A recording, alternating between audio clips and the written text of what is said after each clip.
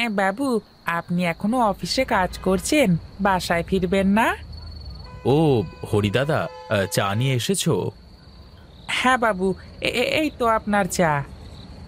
দেখো দেখো তুমি আমার চোখের সামনেই রেখেছো আর আমি তোমাকে জিজ্ঞাসা করছি।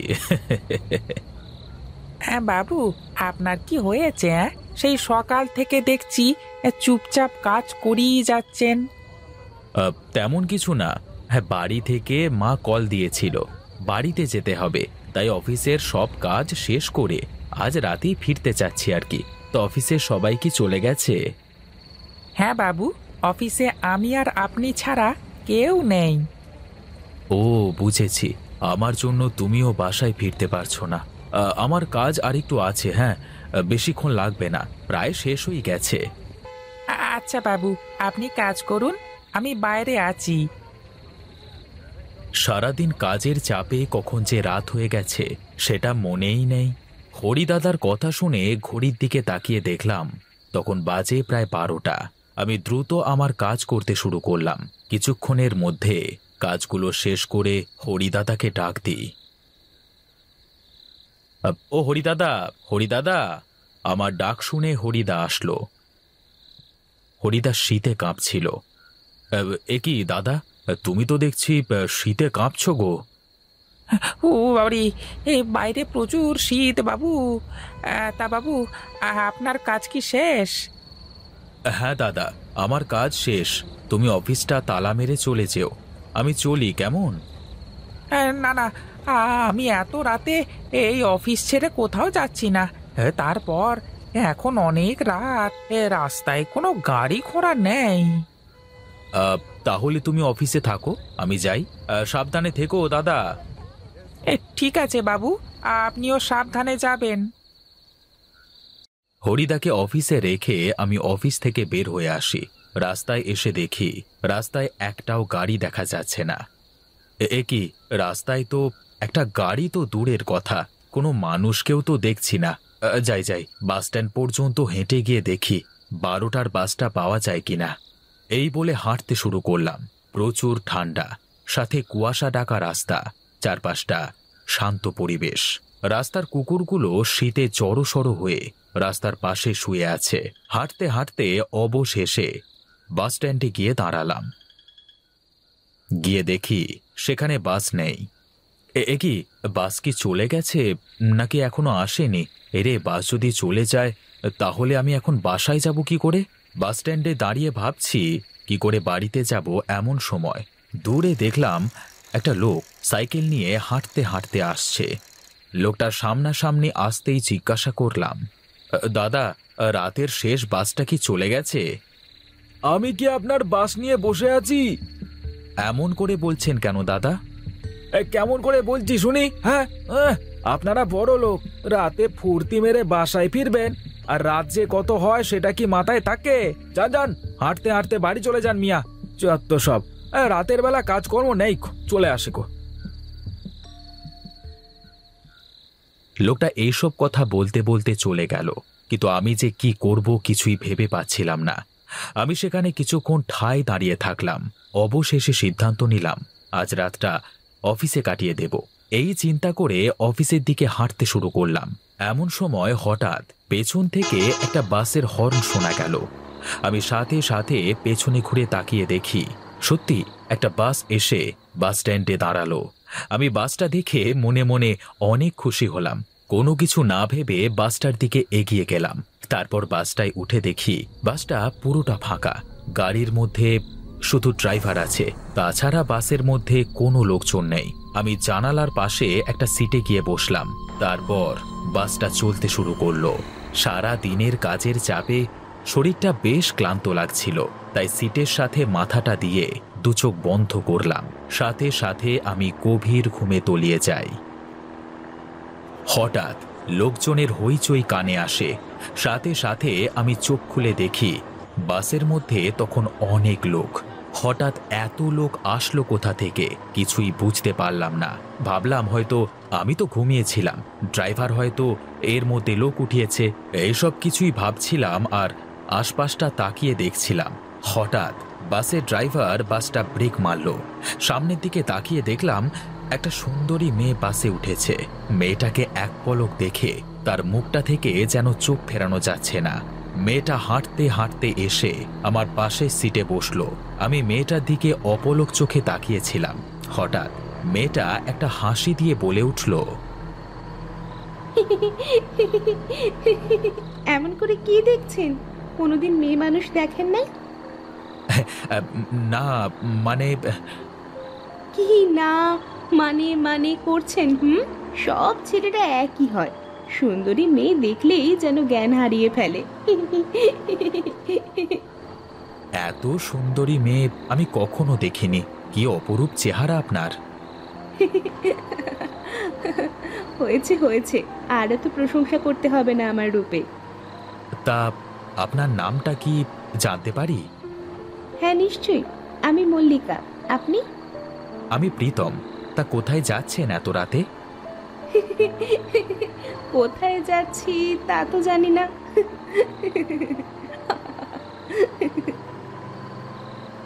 মেয়েটার নাম যেমন সুন্দর, ঠিক তেমনই সুন্দর মেয়েটার হাসি। কথা বলছিল আর হাসছিল। মেয়েটার হাসি দেখতে বেশ ভালোই লাগছিল আমার। এইদিকে রাত তখন একটা বাজে। দুইজনে কথা বলতে বলতে বেশ ভাব জমে গেল। আমি জানালার বাইরের দিকে তাকিয়ে বাইরের দৃশ্য দেখছিলাম। আর পাশে থাকা মেয়েটার কথা ভাবছিলাম। আমি সাথে সাথে পাশে তাকিয়ে দেখলাম মেয়েটা নেই। এ- কি? মেয়েটা কোথায় গেল? এই মাত্র তো এখানেই ছিল। কোথায় গেল মেয়েটা? আমি সিট ছেড়ে উঠে দাঁড়ালাম। দেখি বাসের সকল লোক এক জায়গায় গোল হয়ে দাঁড়িয়ে আছে। আমি তাদের কাছে এগিয়ে যাই। এ কি? এখানে কি হয়েছে? দেখি দেখি। এই কথা বলতেই সকলে আমার দিকে ঘুরে তাকালো। সকলের দিকে তাকিয়ে যা দেখলাম, তা দেখবার জন্য আমি মোটেও প্রস্তুত ছিলাম না। সকলের চেহারা মানুষের বদলে ছিল, কঙ্কালের। আমার ভয়ে পা কাঁপছিল, সকলে আমার দিকে এগিয়ে আসছিল। আমি আমি যে কি করব কিছুই ভেবে পাচ্ছিলাম না। আমি আমি কিছুই বুঝে উঠতে পারছিলাম না। আমি এখন কি করব? পেছোতে পেছোতে কিছু একটা সাথে বেঁধে পড়ে গেলাম আমি। হ্যাঁ? এ কি? আ- আমি আমি কোথায়? তুই তো বাবা তোর ঘরেই শুয়ে আছিস। কি- কি- কিন্তু আ- আমি তো কাল রাতে হ্যাঁ রে তোর রাতে কি হয়েছিল? ওইভাবে রাস্তার ধারে পড়েছিলি যে? আ- আমি রাস্তার ধারে পড়েছিলাম মানে? মানে আবার কি? কাল রাতে তোর বাড়িতে ফিরতে দেরি দেখে তোর বাবা খুঁজতে বের হয়েছিল। তারপর তোকে নাকি রাস্তার ধারে পড়ে থাকতে দেখেছে। তোকে কোনো ডাকাতে ধরেছিল নাকি রে বাবা? না মা রাতে কি যে হয়েছিল আমিও জানি না। হঠাৎ কি যে হলো? আচ্ছা ঠিক আছে। ওসব চিন্তা করিস না বাবা। তুই আয় আমি তোকে খাবার দিচ্ছি। আচ্ছা মা তুমি যাও আমি আসছি। আমি বিছানায় বসে ভাবছিলাম, রাতের ঘটনাগুলো। রাতে যে মানুষগুলোকে দেখলাম, ওরা কারা ছিল? আর আমাকে কেন মারতে চাচ্ছিল? কিছুই মাথায় ঢুকছিল না। আমি বিছানা ছেড়ে উঠে বাইরে চলে আসি। তারপর পুকুর পাড়ে গিয়ে বসলাম। এমন সময় সেখানে একটা ফকির আসলো। কি রে বেটা, রাতের কথা ভাবছিস? রাতের কথা যে ভাবছি সেটা আপনি জানলেন কেমন করে? আমি সব জানি আমি সব জানি রে বেটা। কি জানেন আপনি? আর কি সব বলছেন আপনি? ওর চোখে যে একবার পরে ও তাকে অত সহজে ছাড়ে না রে বেটা। ও আসবে নিশ্চয়ই আসবে। আপনার কথার আগা মাথা আমি কিছুই বুঝছি না। দয়া করে বলবেন কার আসবার কথা বলছেন আপনি?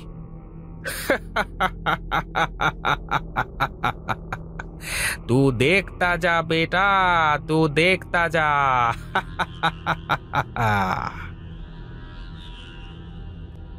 ফকিরটা ছিল ভারী অদ্ভুত কিছুই না বলে হাসতে হাসতে চলে গেল। আমি কিছুই বুঝতে পারলাম না কার আসবার কথা বলছিল। আর আমি কি ভাবছি, সেটা ওই ফকির বুঝলো কেমন করে? এইসব কিছু চিন্তা করছিলাম। এমন সময় হঠাৎ গাড়ির মধ্যে দেখা মেয়েটার কথা মনে পড়ল। কি সুন্দর ছিল তার চেহারা। যদি আবার পেতাম তার দেখা, তাহলে আমি তাকে আর আমার থেকে দূরে যেতে দিতাম না। মল্লিকাকে নিয়ে ভাবছিলাম হঠাৎ। আকাশের দিকে তাকিয়ে দেখি, আকাশ কালো মেঘে ঢেকে গিয়েছে। আমি পুকুর পাড় থেকে বাড়ির দিকে হাঁটতে শুরু করলাম। বাড়ি যেতে যেতে বৃষ্টি শুরু হয়ে গেল। আমি আমার ঘরে গিয়ে জানালা দিয়ে বাইরের দিকে তাকিয়ে বৃষ্টি দেখছিলাম। এইভাবে সারাটা দিন কেটে গেল। বিকালে বৃষ্টি থামলে বের হলাম গ্রামটা ঘুরতে। হাঁটতে হাঁটতে ভোলার চায়ের দোকানে গিয়ে বসলাম। কি অবস্থা প্রীতম দাদা? কেমন আছো? আমি ভালো আছি। তুই কেমন আছিস ভোলা? হুম তা বেশ ভালোই আছি। এ, তা প্রীতম দাদা চা দেবো নাকি? হ্যাঁ হ্যাঁ চাই তো খেতে এলাম। এ, বেশ ভালো এ, তুমি বসো আমি এখনই তোমার জন্য চা বানিয়ে দিচ্ছি। ঠিক আছে। অনেকদিন পর গ্রামে এসে বেশ ভালোই লাগছে। কতদিন হলো ভোলার হাতে চা খাওয়া হয় না। ভোলার হাতের চায়ের স্বাদই আলাদা। কিছুক্ষণ পর। এ, এই নাও প্রীতম দাদা। ভোলার হাত থেকে চায়ের কাপটা নিয়ে মুখে দিতেই যেন ফিরে পেলাম, সেই পুরাতন কালের স্বাদ। ভোলার হাতের চায়ের কোনো তুলনাই হয় না। ভোলার দোকানে চা খাচ্ছিলাম, আর রাতে দেখা, সেই মেয়েটার কথা ভাবছিলাম। কেন জানি না, বারবার রাতে বাসের মধ্যে দেখা, মেয়েটার কথা মনে পড়ছে। তাহলে কি আমি ওই মেয়েটাকে ভালোবেসে ফেলেছি? এইসব কথাই ভাবছিলাম। এমন সময়, গ্রামের হরিহর কাকু এসে আমার সামনে বসল। কি বাবা প্রীতম? এই তোমার রাতে কি হয়েছিল হ্যাঁ দেখলাম রাস্তার পাশে পড়ে আছো। আসলে আমিও ঠিক জানি না কি হয়েছিল। আর শোনো বাবা, রাতের বেলায় দেখে শুনে চলতে হবে, বুঝলে? রাতে অনেক বিপদ কিন্তু রাস্তাঘাটে থাকে হ্যাঁ তাই ভালো হয় শেষ রাতে কোথাও না যাওয়া, বুঝলে?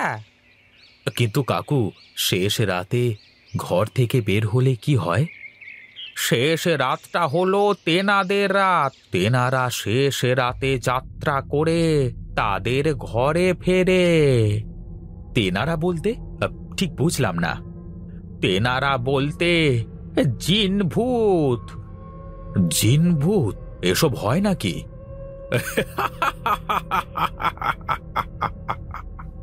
এ কি কাকু আপনি হাসছেন কেন?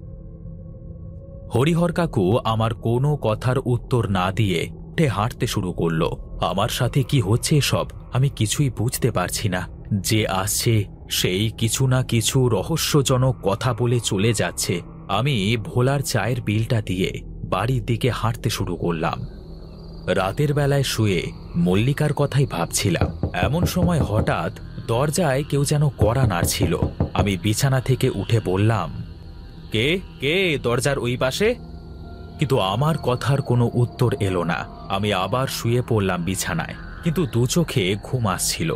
কি করব ভেবে পাচ্ছিলাম না। বিছানা থেকে উঠে বাইরে আসি। তারপর হাঁটতে হাঁটতে পুকুর পাড়ে যাই। পুকুর পাড়ে যেতেই দেখি কেউ যেন পুকুর ঘাটে বসে আছে। এ কি, এত রাতে পুকুর ঘাটে কে বসে আছে? কে? কে ওখানে? আমি বারবার জিজ্ঞাসা করলাম তারপরও কোনো উত্তর এলো না। আমি পুকুর ঘাটের কাছে এগিয়ে গেলাম। তারপর দেখলাম একটা মেয়ে সেখানে বসে আছে। এ কি? কে আপনি? আর এত রাতে পুকুর পাড়ে কি করছেন? আমি প্রীতম। এ কি? মল্লিকা তুমি? হ্যাঁ প্রীতম আমি। এত রাতে তুমি এখানে কি করছ? আর কীভাবে বা এখানে আসলে তুমি? আমি তোমার জন্য এসেছি। আর তুমি না আমাকে মনে মনে ভাবছিলে? আর বলছিলে যদি আর একবার আমার সাথে দেখা হতো তাহলে তোমার মনের কথাগুলো বলতে? হ্যাঁ তা বলছিলাম। কিন্তু এইসব তুমি কি করে বুঝলে?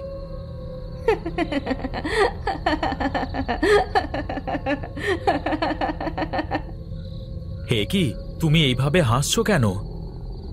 মল্লিকা হাসতে হাসতে মুহূর্তের মধ্যেই তার রূপ পরিবর্তন হয়ে গেল। সে কি ভয়ানক চেহারা? একটা মানুষের এমন যে ভয়ানক চেহারা কেমন করে হয়, আমি আগে জানতাম না।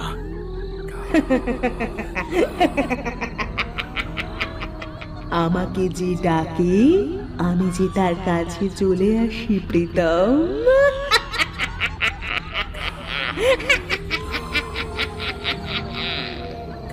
এ কি কে- কে- কে- কে কে- কে তুমি আমি তোমার মল্লিকা প্রীতম এসো এসো আমার কাছে এসো আমি তোমাকে আমার রাজ্যে নিয়ে যাব नहीं वो कहीं पर नहीं जाएगा কোথাও যাবে না ও এ কি এ কি আপনি হ্যাঁ প্রীতম বেটা আর তুমি যাকে দেখছ ও কোনো মানুষ নেই আছে। মানুষ নয়? তার মানে? নেহি বেটা ও হলো এক মায়াবিনী যে ওর রূপে পাগল হয়ে যায় ও তাকেই মেরে ফেলে। না তান্ত্রিক তুই চলে যা এখান থেকে চলে যা। আমার কাজে তুই বাধা দিস না তা না হলে কিন্তু অনেক খারাপ হবে। নেহি তোর খেলা অনেক হয়েছে, আর নেহি, আজ তোর খেলা শেষ। এই বলে তান্ত্রিক তার ছোলা থেকে এক ঘটি জল বের করল। সেটা হাতে নিয়ে মন্ত্রপাঠ করতে শুরু করল। মল্লিকারূপী মায়াবিনী তখন চিৎকার করে বলতে থাকে, না না, তুই এমনটা করিস না তান্ত্রিক। আমি তোকে ছাড়বো না, তোকে আমি শেষ করে ফেলব। না না মায়াবিনীটা চিৎকার করতে করতে অদৃশ্য হয়ে গেল তান্ত্রিকও তার মন্ত্র পড়া বন্ধ করে দিল और कोई डर नहीं बेटा তুমি এখন বাড়িতে যেতে পারো और एक बात याद रखना শেষ রাতে কোনো সুন্দরী মেয়েকে দেখে তাকে বিলকুল ডাকনা মত ঠিক আছে আপনার কথা আমার মনে থাকবে তান্ত্রিকের কথা মতো আমি বাড়ির দিকে হাঁটতে শুরু করলাম আর ভাবতে থাকলাম, শেষ রাতের বাসে ঘটে যাওয়া ঘটনা।